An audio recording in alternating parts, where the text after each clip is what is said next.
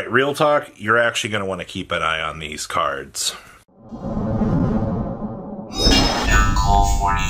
Make sure you guys smash the crap out of that subscribe button so you guys don't miss out on more awesome content. I want to start off over here with Heatwave, and this actually just showed up very, very recently in the OCG, and it it, it made me go, oh crap.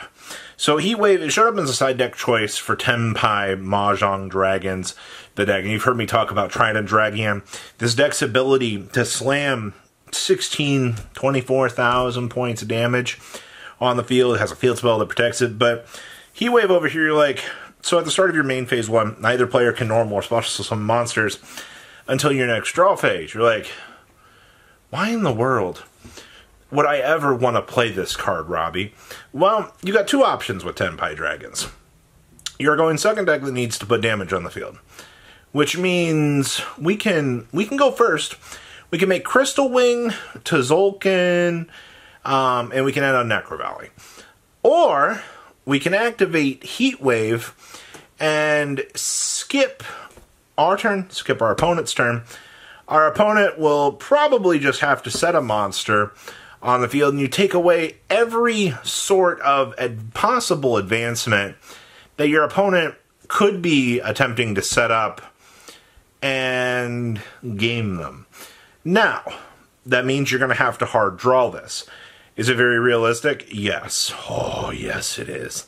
Um, I'm actually, I, I love Tenpai Dragons. I love the way that this deck tries to play the game. And we, we haven't had a very good going second ignorant deck for a while. So the fact that you can have this actually playing in such a fantastic way is great. So um, we, we've seen how Heatwave has gone. Konami, please reprint this card so it's like not a pain in the butt for everybody to try to get. Next up over here is Melodious, and I I don't know if you guys noticed, but I feel like I mention this every video. And your most expensive parts of the deck are literally like what? Ostinato first movement solo? Nah, it's just usually first movement solo. When you're looking at the things that you want to pick up for the deck, ever okay. So like, hear me out here for a second. This stuff, this is from the era of like we have shatter foils. You know, like we had the Arc V Star Pack. You know, Konami's way to get players out here engaged with dollar booster packs and then you had everybody going, "Don't buy this product," and then like three freaking years later, you're like, "I'm gonna go buy this random, you know, Starfoil card," and you look, you're like, two listings. Why is this garbage fifty dollars? That's why. All right, those cheap garbage boxes that nobody wanted, they're worth something now. And oddly enough, Melodious fits into the category of, huh maybe maybe that this is maybe this is worth picking up. Um, you have a non-targeting bounce that comes out in Legacy, which makes Melodious a very scary rogue deck.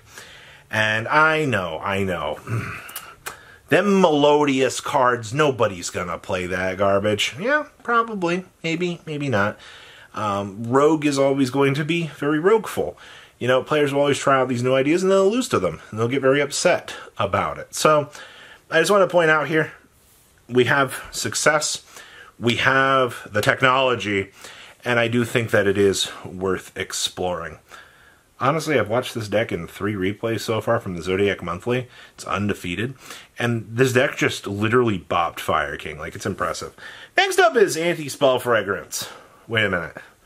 So this is uh this is basically we, we did a tech update video literally a couple weeks ago, and a few people were like, "Anti-spell fragrance is a side deck card right now." Yeah, yeah.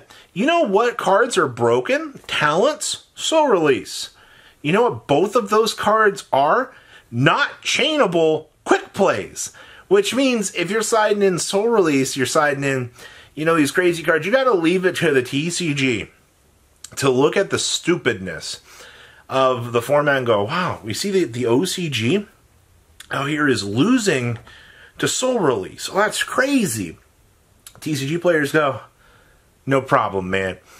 let's just go play anti-spell fragrance. You know, if, if they board in all of these crazy board breaking, annoying little cards, we'll just hit them with the anti-spell, all right? And then it's like, oh, we'll just OTK them on the next turn. They can't play the game if they can't activate spell cards. I understand why people look at anti-spell fragrance and they're like, this card needs to go. Um, I understand that it is a broken floodgate, but it has been a checks and balance through the game, through the years.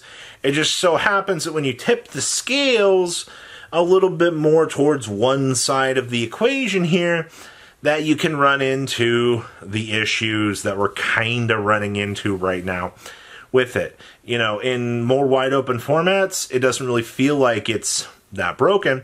But when you sit into a format like this one, where you have a clear best deck and you know what you're going to side against, and the options are predetermined out here, unfortunately, that's where anti spell comes in and really messes everything up. So, collector's rares, pay attention to those. I can't wait to watch these things continue to go topsy turvy for the next eight weeks. Next up is Heavy Storm. Wait, Rob, you're mentioning a ban card right now. I don't like that. Why are you trying? Because it came unbanned during the last OCG ban list. I don't think a lot of people remember paying attention to this, but Heavy Storm did move to one in the OCG.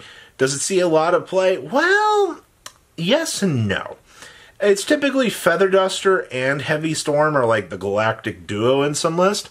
Some builds just choose not to even play Feather Duster or Heavy Storm. But the thing is, you can also thrust into either option, but having cards to counter back row decks is a good thing. Problem is, is the more that they tend to tip these scales, the more that they invalidate trap cards in the course of the game, and it, they, they walk a very fine line. I mean, at this point in time, if the TCG does get back Heavy Storm, that'll put what double Lightning Storm, um, Feather Duster, Raigeki in the mix for multiple back row removal. So you've got some options going for you here. I, I don't think that that's terrible. Also, I mean, you have so many different flavors of Heavy Storm right now to pick from. I don't particularly see eh, maybe Hobby League, maybe the the the rarer super rares the the more niche like retro packs. I, I does it is it Duelist League? It had a, it had like one or two very niche printings from back in the day that I, I can't even remember at this point. But point is right now, if the TCG is going to follow suit with the, the little stupidness out here of the OCG and bring back Heavy Storm, well, you're going to want to make sure that you knew months in advance to pick up whatever copy that you wanted. We still don't have a Saber Invoker. Such a weird thing.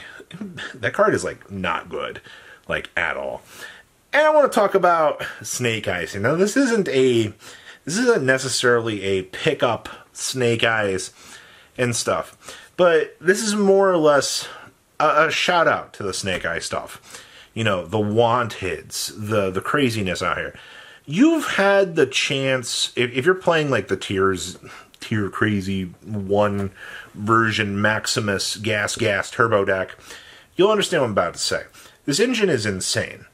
Um, it was actually fairly recently we just started seeing the OCG start to get a little bit more bored of the fire side of things, and they're tossing fire in things like Tearlaments all of a sudden, or you you start tossing this in to more of these these pile esque engine decks, and all of a sudden you kind of start to look at the fire package and you're like, you know, if we had more, if like if we had thunder, maybe like some of these more explosive decks I can see a lot more crazy things unfolding on the fire side of things. But I just wanted to give a shout out here and go, hey, you know, if you've picked up fire, which 1% of you probably have, um, you can actually, if you want to just have fun, you can start splashing this in all these other engine decks, and you can have some very, very stupid ideas come to life. Especially the tier fire pile. It's two things I never thought I would see come together, but keep an eye on the little the little engines that you can have fun with. I know fun and the term Yu-Gi-Oh they don't tend to go together by a lot of people, but I think it's worth mentioning. So, what do you guys think? Please, comment down below. Tell me what you guys think. I'll see your beautiful faces back here in day, guys. Peace out. Patrons, thank you. Ah!